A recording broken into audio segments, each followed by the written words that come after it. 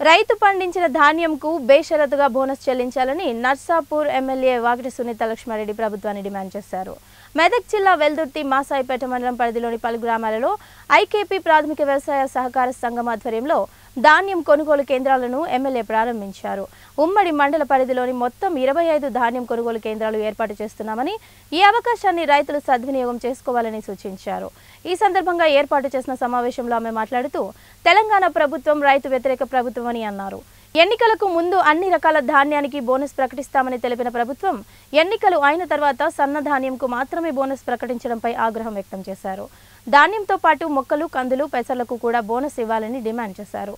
ఈ కార్యక్రమంలో MLA Sunitha Laxma Reddy ZPTC Ramesh Goud Masaipet party అధ్యక్షుడు మధుసూదన్ రెడ్డి వెల్దుర్తి మండల అధ్యక్షుడు Bhupal Reddy society chairman Anantha Reddy society EO Siddiramulu MPDO Umadevi Veldurthi వ్యవసాయ మండల అధికారి Jhansi Masaipet tahsildar Gnanajyothi Veldurthi tahsildar Krishna IKP APO Shankaraiah APO Raj Masaipet విస్తరణ రజిత అధికారి Veldurthi MPTC Mohan Reddy Arigudem sarpanch Shekar Yadav ఇతర సర్పంచులు నాయకులు పాల్గొన్నారు.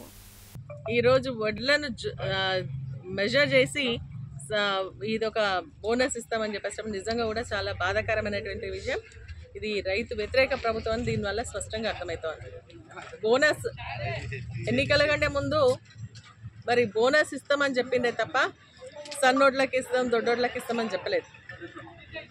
ఒక పంట అయిపోయింది. రెండో పంట ప్రారంభిస్తే వరకు రైతు భరోసా లేదు. కానీ ఇప్పుడు మళ్ళీ బోనస్ ఇస్తామనేది కూడా గట్టిగా పట్టుబడుతుంటే దాన్ని కూడా కొలతలు చేసి కరెక్ట్ సైజు ఉంటే వెడల్పు ఉంటే బోనస్ ఇస్తామని చెప్పడం నిజంగా కూడా బాధాకరమైనటువంటి విషయం. మేము డిమాండ్ చేస్తూ ఉన్నాం ఏ ఓట్లకైనా సన్నోట్లకి ఇవ్వండి దొడ్డోడ్లకి ఇవ్వండి. బోనస్ ఇస్తామన్నారు కందులకి ఇవ్వండి మొక్కల